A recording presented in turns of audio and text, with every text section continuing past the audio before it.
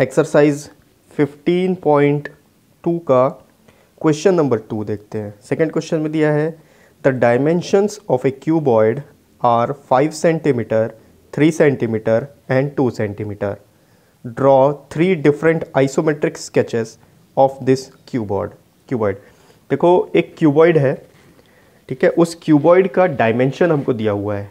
Dimension मतलब क्या? Length breadth और हाइट एक थ्री डायग्राम बनाने के लिए हमको तीन डायमेंशंस की ज़रूरत होती है, ठीक है? तीन एक्सेस होते हैं उसके एक्स एक्सेस वाई एक्सेस और जेड एक्सेस ठीक है? अगर आपको एक्सेस समझ में नहीं आ रहा है तो आपको कन्फ्यूज़ होने की ज़रूरत नहीं है। आप एक्सेस पर ध्यान मत दो। तीन डायमेंशंस का मतलब हो गया लेंथ ब्रेथ और हाइट तो उसका लेंथ ब्रेथ और हाइट हमको दे दिया है और हमको बोल रहा है कि आइसोमेट्रिक शीट में इस क्यूबॉइड का स्केच बनाना है, ठीक है? आइसोमेट्रिक जो डॉट शीट होता है, उसमें हमको तीन अलग अलग क्यूबॉइड बनाने हैं, ठीक है? डायमेंशन सेम रहेगा, क्यूबॉइड तीन अलग तरीके से बनाना है। तो कैसे होगा? देखो डायमेंशन सेम रहेगा का मतलब फाइव सेंटीमीटर उसका पहले अगर हम हाइट ले लेते हैं सपोज़ ठीक है? फिर लेंथ सपोज़ लेंथ ब्रेथ और हाइट है तो फाइव सेंटीमीटर हाइट हो गया थ्री सेंटीमीटर ब्रेथ हो गया और टू सेंटीमीटर हाइट हो गया। उसके बाद हम क्या करेंगे? थ्री सेंटीमीटर को लेंथ ले लेंगे टू सेंटीमीटर को ब्रेथ ले लेंगे और फाइव सेंटीमीटर को हाइट ले लेंगे। ऐसे करके हमारे पास दो डायग्राम हो गया। तीसरा हम डायग्राम कैसे बनाएँगे? टू सेंटीमीटर को लेंथ ले लेंगे तो और फाइव सेंटीमीटर को ब्रेथ ले लेंगे और थ्री सेंटीमीटर को हाइट ले लेंगे। इस तरीके से हम तीन अलग अलग तरीके से एक ही क्यूबॉइड को, तीन अलग अलग तरीके से आइसोमेट्रिक शीट में ड्रॉ कर सकते हैं। ठीक है? एक और अच्छा एग्ज़ाम्पल मैं आपको दूँगा व्हाइट बोर्ड की तरफ़ चलते हैं तो आपको ज़्यादा अच्छे से समझ में आ जाएगा। तो देखो, इस क्वेश्चन में क्या बोला है? एक आइसोमेट्रिक डॉट पेपर में हमको स्केच बनाना है। किसका स्केच बनाना है? एक क्यूबॉइड का। क्यूबॉइड क्या होता है? ठीक है, देखो क्यूबॉइड इस तरह का एक बॉक्स है। इसको आप क्यूबॉइड बोल सकते हो। क्यूबॉइड की पहचान है कि उसका जो फेस होगा, वो रेक्टेंगल शेप में होगा। क्यूब क्या होता है? जिसका फेस जो है स्क्वायर शेप में होता है। और क्यूबॉइड का फेस रेक्टेंगल शेप में होता है। इसको क्यूबॉइड क्यों बोलते हैं? क्योंकि एक थ्री डायमेंशनल शेप है। अब देखो यहाँ से इसका पहला फेस हो गया, ऊपर इसका टॉप फेस नीचे इसका बॉटम फेस राइट साइड में इसका राइट फेस और लेफ़्ट साइड में इसका लेफ़्ट फेस हो गया। अब इस क्यूबॉइड का डायमेंशन दिया हुआ है। लेंथ दिया हुआ है, पीछे तरफ़ इसका ब्रेथ है, वो ब्रेथ दिया हुआ है और इसका हाइट दिया हुआ है। क्या क्या दिया है? फाइव सेंटीमीटर दिया है ब्रेथ थ्री सेंटीमीटर दिया हुआ है और हाइट जो है इसका टू सेंटीमीटर दिया हुआ है। अब इस क्यूबॉइड को तीन अलग अलग तरीके से हमको यहाँ पर इस आइसोमेट्रिक शीट में स्केच करना है या फिर ड्रॉ करना है। तो तीन अलग अलग तरीके से कैसे कर सकते हैं? आप अपना इमेजिनेशन पावर को आपको यूज़ करना है, ठीक है? कैसे आप यूज़ करोगे? सबसे पहले बॉक्स ऐसे ही रखते हैं। ये क्यूबॉइड है तो ये वाला फेस आपको दिख रहा है सामने, ठीक है? ये फेस इस तरीके से आप ड्रॉ कर सकते हो। ये इसका लेंथ हो गया, ये ब्रेथ हो गया, ये हाइट हो गया। दूसरा एक तरीका है, आप इसको अगर इस तरीके से मोड़ लो। इस तरीके से भी आप ड्रॉ कर सकते हो, ठीक है? या ये सामने का फेस दिखेगा आपको, और जो पहले सामने दिख रहा था, वो टॉप फेस हो गया है, ठीक है? और ये इसका हाइट हो गया, पीछे इसका ब्रेथ हो गया।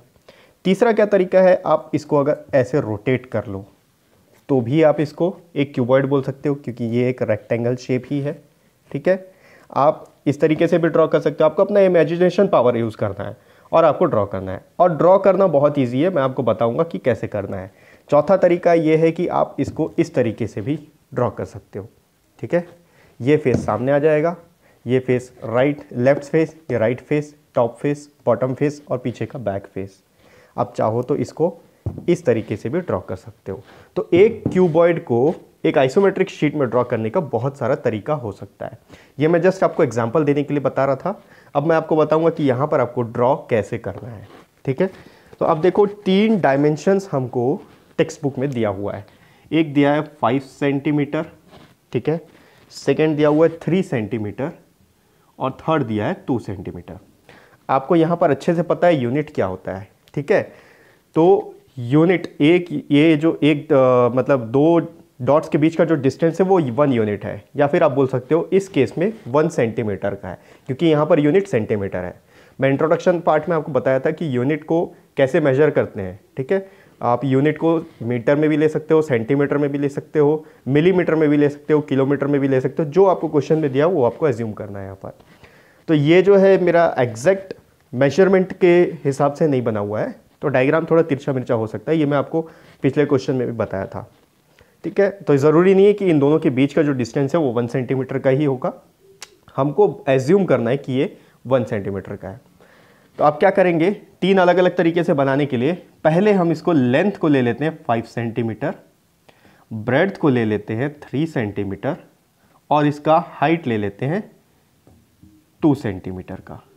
ठीक है? पिछले क्वेश्चन में आप देख चुके हो कि क्यूबॉइड को कैसे हम आ, किसी भी आइसोमेट्रिक शीट में ड्रॉ करते हैं। तीन चीज़ की ज़रूरत होती है लेंथ ब्रेथ और हाइट। एक बार ये पता चल गया तो हमारा डायग्राम इजीली बन जाता है। दूसरा ये तरीका है कि इसको हम लेंथ अभी फाइव सेंटीमीटर लिए थे, अब लेंथ ले लेते हैं थ्री सेंटीमीटर का। ब्रेथ ले लेते हैं टू सेंटीमीटर का और हाइट ले लेते हैं फाइव सेंटीमीटर का। इस तरीके से भी आप बना सकते हो। और तीसरा जो होगा, आप इसको फिर से रोटेट कर दो, इसका लेंथ ले लेते हैं अब टू सेंटीमीटर का। ब्रेथ ले लेंगे फाइव सेंटीमीटर का और हाइट ले लेंगे थ्री सेंटीमीटर का। आप इसको और रोटेट करके और भी अलग अलग तरीके से बना सकते हो। लेंथ आप थ्री सेंटीमीटर कहीं पर लियो, ये ले लियो। यहाँ पर ब्रेड टू सेंटीमीटर लिया तो ब्रेड आप फाइव सेंटीमीटर ले लो और हाइट टू सेंटीमीटर लेके भी बना सकते हो। तो क्वेश्चन में हमको बोला है, तीन अलग अलग तरीके से बनाना है। तो तीन अलग अलग तरीके से अगर आप इसको फॉलो कर लोगे तो यहाँ पर ईजिली बन जाएगा। तो कोशिश करते हैं बनाने की। यहाँ से स्टार्टिंग करते हैं। लेंथ यहाँ पर फाइव सेंटीमीटर का है, ठीक है? तो लेंथ अगर फाइव सेंटीमीटर का लेंगे सपोज़ यहाँ से स्टार्ट करते हैं one two three four five centimetre का लेंथ हो गया। ब्रेथ है टू सेंटीमीटर का तो ब्रेथ हमेशा तिरछा जाता है। सॉरी ब्रेथ यहाँ थ्री सेंटीमीटर यानी कि तीन यूनिट का है। तो यहाँ से वन टू और ये थ्री यूनिट ठीक है? मैं नीचे ले रहा हूँ तो इसका मतलब ज़रूरी नहीं है कि आप भी नीचे लो, आप ऊपर भी लेके जा सकते हो। आपके ऊपर डिपेंड करता है कि आप कैसा इमेजिन कर रहे हो उसको, ठीक है? हाइट यहाँ पर दिया हुआ है टू सेंटीमीटर का। तो अब इसका हाइट ले लेते हैं। हाइट यहाँ से आएगा वन और ये टू। टू यूनिट का हो गया। ठीक है? अब आपको करना क्या है? सिर्फ़ इसके पैरेलल लाइंस, इसके अकॉर्डिंग पैरेलल लाइंस खींच खींच के आपको उनको ज्वाइन कर देना है और आपका क्यूबर्ड रेडी हो जाएगा। देखते हैं। ये इसका ब्रेड है। ब्रेड थ्री यूनिट का है। यहाँ से इसका इसका पैरेलल लाइन यहाँ बनेगा। One, two, three unit. ठीक है? आप इसको ज्वाइन कर लो, इसका हाइट देखो टू यूनिट का है, यहाँ से यहाँ तक ज्वाइन कर लिए टू यूनिट हो गया। अब यहाँ से लेते हैं, ठीक है? ये हो गया, इसके पैरल लाइन इसका पैरल लाइन यहाँ पर ड्रॉ करते हैं। One two three four five five unit का इसका लेंथ है और इसको यहाँ से टू यूनिट इसका हाइट ले लेते हैं। अब क्या करेंगे? इसके पैरल यहाँ पर खींच लेते हैं। ये कितने यूनिट का था? ये इसका ब्रेड है। ब्रेड थ्री यूनिट का है। तो यहाँ से वन टू और ये थ्री यूनिट ठीक है? थ्री यूनिट के बाद इसका जो लेंथ है फाइव यूनिट का है, इस पॉइंट को और इस पॉइंट को हम ज्वाइन कर लेते हैं। तो हो गया one two three four five ये एक क्यूबर्ड बन गया। ठीक है? आपको क्लियर दिख रहा होगा ये किस तरह का क्यूबर्ड होगा। मैं आपको एग्ज़ाम्पल देता हूँ, ये इस तरीके का है। ठीक है? आप इसको राइट साइड से देखोगे तो ऐसा दिखेगा, ये वाला फेस इसका छुप जाएगा।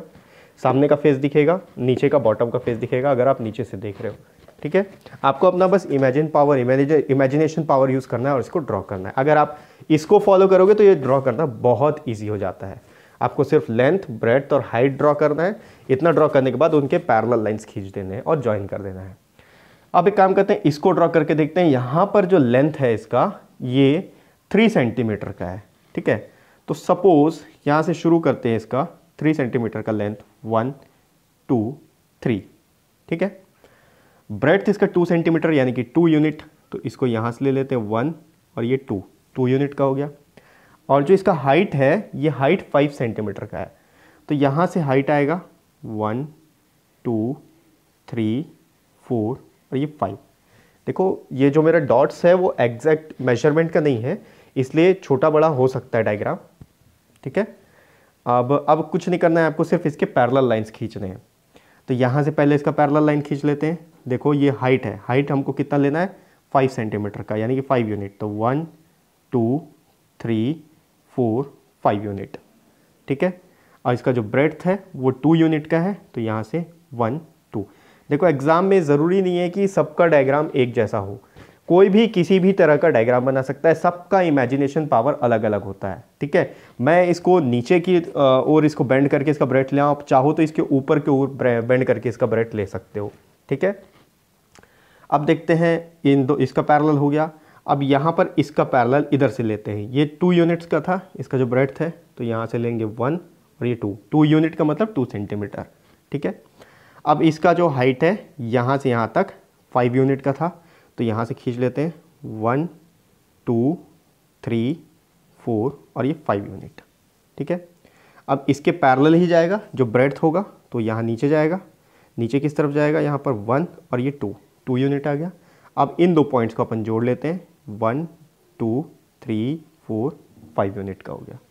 अब आप इसको जोड़ोगे तो ये इसका लेंथ है। लेंथ थ्री यूनिट का है। वन टू और ये थ्री यूनिट ठीक है? इस तरीके से भी आप बना सकते हो। ठीक है? आप देखो, ये आप इस साइड से, इस साइड से अगर देखोगे तो ये ज़रूरी नहीं है कि ये वाला लाइन आपको ड्रॉ करना है। ये लाइन आप नहीं भी ड्रॉ करोगे तो चलेगा। अब यहाँ से आप इसको ज्वाइन कर सकते हो। वन टू थ्री यूनिट अब आपको समझ में आ रहा होगा, ठीक है? परफेक्टली आपको समझ में आ रहा होगा कि ये किस तरह का डायग्राम है, ठीक है? ये जो बॉक्स है, अगर आप इसको स्ट्रेट इस तरीके से रख दोगे वर्टिकल पोज में, ठीक है? वर्टिकल पोजीशन में आपको क्यूबर्ड इस तरीके का नज़र आएगा।